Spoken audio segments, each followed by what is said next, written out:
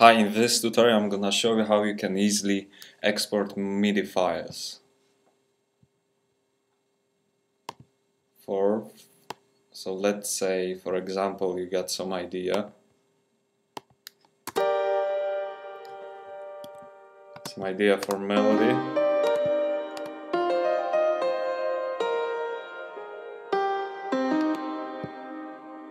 But you want to work later on it. So what you can do, click on the clip, then right click, export MIDI clip. Now we can rename it to whatever you want, then you hit save. Now it's gonna show up on the desktop or whatever wherever you save it.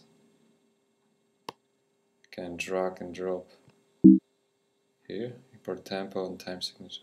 No. No. So easy.